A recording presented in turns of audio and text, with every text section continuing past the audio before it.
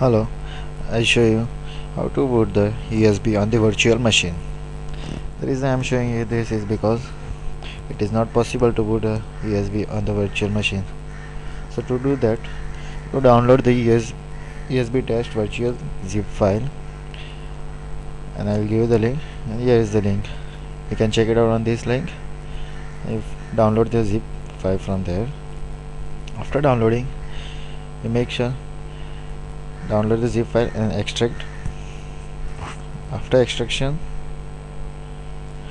double click on the .vmx file virtual machine configuration file. It's a virtual machine configuration file if you double click on that it will automatically open with the virtual machine.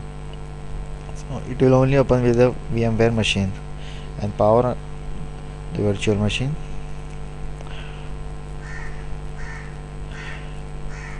after you power on the virtual machine make sure you connect the USB on the virtual machine to connect.